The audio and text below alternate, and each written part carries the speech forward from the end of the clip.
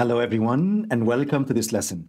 In this lesson, we will learn how to leverage DALL-E 2 to generate images based on text data.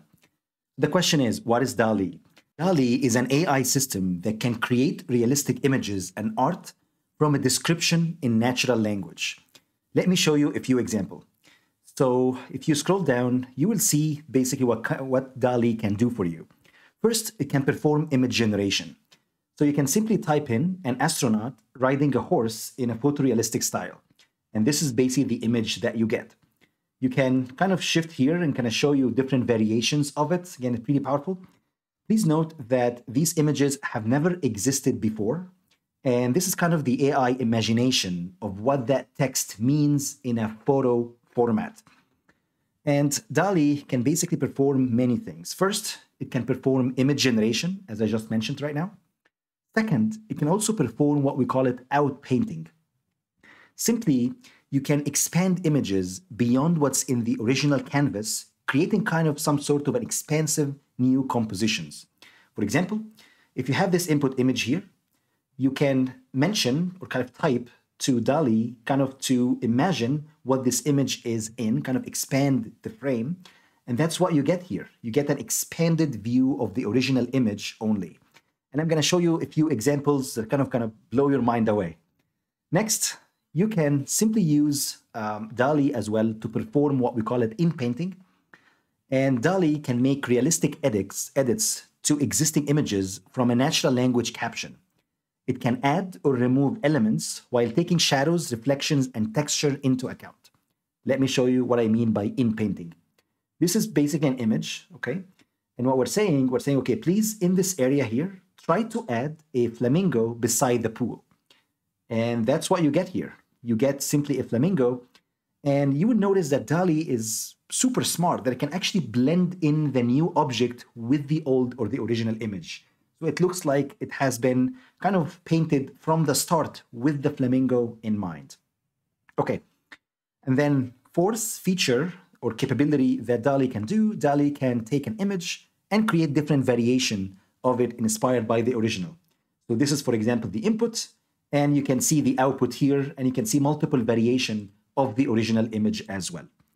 Okay, so the first question is, how can I access DALL-E or try out DALL-E? So first, you need to go to openai.com, product, and then DALL-E 2. And all you need to do is to just click on try DALL-E, and that is going to open basically DALL-E for you. You, uh, you might need to uh, basically sign up with your email, but here I signed up already. And you can just go ahead and type in what you want DALL-E to imagine for you. So for example, I can go ahead and say, surprise me. And it's gonna say here, kind of, you know, like a prompt, basically. This is gonna be crayon drawing of several cute, colorful monsters with ice cream cone bodies on dark blue paper. And if you click generate, DALL-E is going to generate basically an image that describes what you wrote here in a text format. And what's powerful about DALL-E, it can basically kind of help us understand what AI is actually thinking how AI is viewing the world that humans live in. And here we go. Look at this. So basically what you see here is DALL-E was able to create four variations of the image that try to explain what I wrote in here. You can go ahead and say, again, surprise me. Actually, let's maybe try a cat submarine chimera digital art. Let's go ahead and try that out. Let's see what that looks like. And you can see a few examples here. It's going to show you a bowl of soup there is also a portal to another dimension, digital art. And look at this.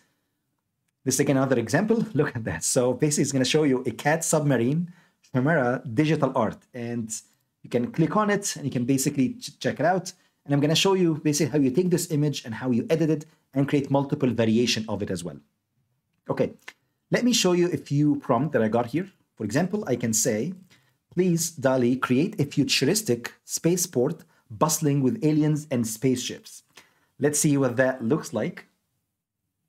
It's super fun to play with, but please note that you are limited with the number of credits that you got. So here I purchased basically credits uh, because I ran out of, of those. But uh, if you sign up, you will get free credits initially. Of course, this might change in the future, but um, if you run out, it's not going to charge you. It's going to tell you you run out of credit and you need to purchase credits to play with DALL-E. And here we go. What you see here is basically futuristic spaceport, kind of bustling with aliens and bustling with spacecrafts as well.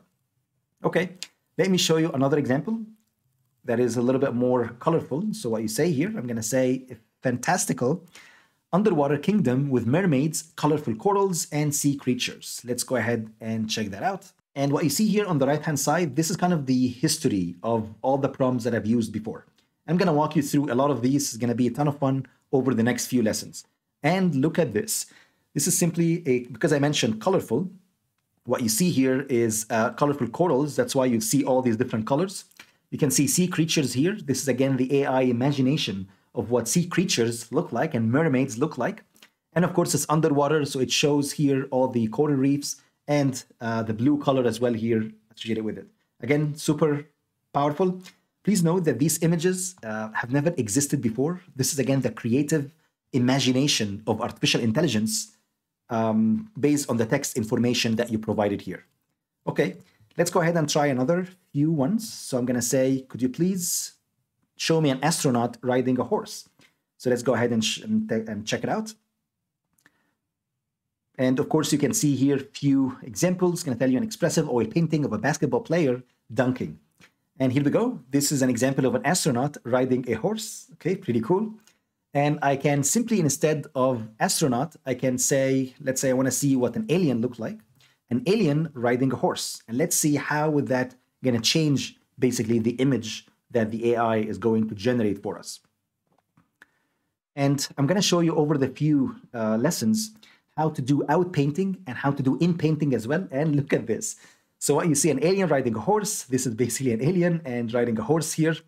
So basically, that means that artificial intelligence was able to understand the features of what aliens look like, and of course, what astronauts look like. It can also can understand the relationship. So when I say alien riding a horse, it understood that this alien need to be on top of the horse because of the millions of images that the AI has been trained on. So this is incredible because it allows us to see what the what the AI is actually thinking as well, and the AI's imagination of the, the real world. So I can go ahead and say, okay, let's go ahead and see this. An alien riding a horse on the sun. Let's go ahead and check it out and see if that makes sense. You can also see here a futuristic cyborg poster hanging in a neon light subway station. And you can see there is a subway station, there is a neon light here, and the cyborg as well. Here we go. Look at that. So now we have an alien and you have the sun. And again, it's a very clear, I would say, understanding of what we also mean when we wrote this text. Let's go ahead and try uh, basically some additional features. So basically I'm gonna say here, an alien riding a horse on the sun, but now you can add some additional features that you would like to see in the image. For example, I wanted to say, I want the image to be dark, I want the image to be photorealistic, and I want it to be shadowy. The more detailed you want, the better. Think of it as if you're talking to kind of an expert painter, a creative painter too. The more details you want, the better. And I'm going to show you again a few incredible examples coming up next. And here we go. You see, because we mentioned uh, dark and photorealistic and shadowy, you will see all these different shadows here. This is actually pretty cool if you actually like open this one. And you can see kind of the horse, the sun as well, and I added dark because I added dark here. And you can see some shadows here as well on that horse. And then finally, I wanted to try this one out. A cat riding a motorcycle on the moon. Let's go ahead and test it out and see if the AI was able to understand what the moon is and what a motorcycle is, and of course the cat and the relationships between all these different objects in the scene. So here we go. What you see, we have the moon here, and you can see a cat, and you can see the motorcycle as well. All right, okay, that's it. That's all I have for this lesson. I hope you enjoyed it. Please go ahead, give it a try.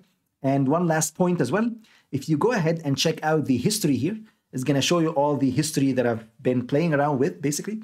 And if you click on collections, it's going to show you multiple collections and you can simply store the, your favorite images as part of your collections here.